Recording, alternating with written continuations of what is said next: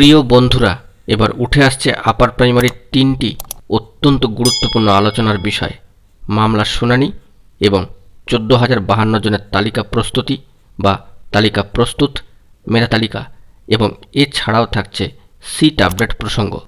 সবটাই অত্যন্ত গুরুত্বপূর্ণ আলোচনা। এই ভিডিওর মধ্যে করা হচ্ছে। অবশ্যই ভিডিওটিকে তাই শেষ পর্যন্ত দেখবেন ও চ্যানেলটিকে এখনই সাবস্ক্রাইব করে নিয়ে সঙ্গে থাকবেন। বন্ধুরা জানিয়ে রাখার দরকার, সাড়ে পাঁচ মাসেরও বেশি আগে মহামান্য কলকাতা হাইকোর্ট মেধাতালিকা প্রকাশের নির্দেশ দিয়েছিল। এখনও তা প্রকাশ করা হয়নি। তবে অবশেষে সুসংবাদ এটাই যে এসএসসি বা স্কুল সার্ভিস কমিশন এবার মহামান্য আদালত অনুমতি দিলে তারা আগামী সপ্তাহে উচ্চ প্রাথমিকের মেধাতালিকা প্রকাশ করতে চায়। বুধবার দিন অর্থাৎ গতকালকে এসএসসির চেয়ারম্যান সাহেব কার্যত এই বিষয়টি স্পষ্ট করেছেন। এর পাশাপাশি যে গুরুত্বপূর্ণ খবরটি উঠে আসছে, যে মামলার শুনানি ঘিরে আগামী সোমবার অথবা মঙ্গলবার আপার প্রাইমারির মেধা তালিকা সম্পর্কিত ডিভিশন বেঞ্চে শুনানি হবে। এরকমই একটি খবর কিন্তু সামাজিক গণমাধ্যম সূত্রে উঠে আসছে, যা একেবারে এক্সক্লুসিভভাবে আমাদের চ্যানেলে এই ভিডিওতে প্রথমবারের জন্য জানানো হলো।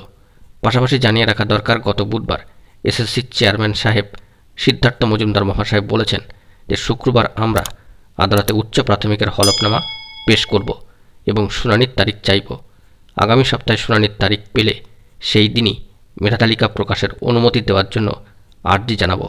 সম্মানীয় চেয়ারম্যান সাহেব জানাচ্ছেন যে আদালত ওই তালিকা প্রকাশের নির্দেশ দিলে সরাসরি তা প্রকাশ করা হবে এবং তার সাথে কোর্টে তালিকা জমা দিতে বললে সেখানেই তা জমা দেওয়া হবে।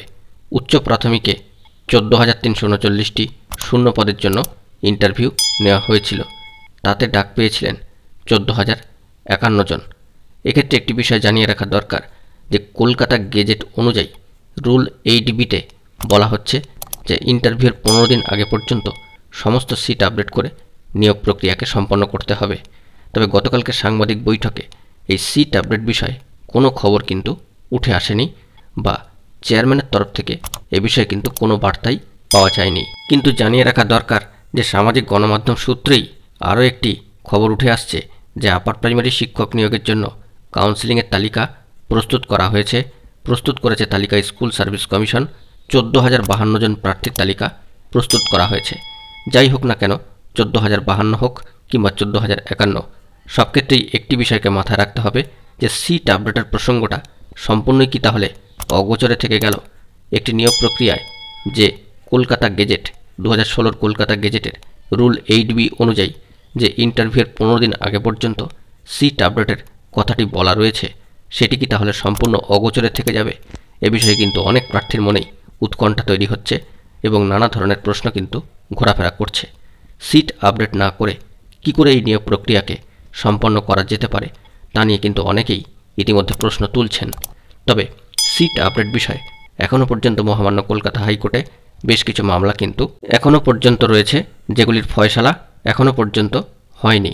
তবে সিট আপডেট না করে কি করে এই নিয়োগ প্রক্রিয়াকে সম্পন্ন করা হবে কিংবা হতে পারে, তা নিয়ে নানা ধরনের প্রশ্নই কিন্তু এবং উৎকণ্ঠা কিন্তু ভেসে আসছে।